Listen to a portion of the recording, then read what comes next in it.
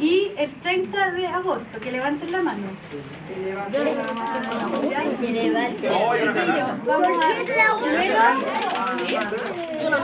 primero vamos, a, vamos a desearle un feliz cumpleaños a todos los niños.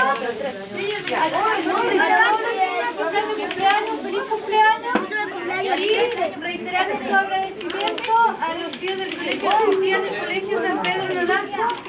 nos trajeron esta fiesta, ¿ya?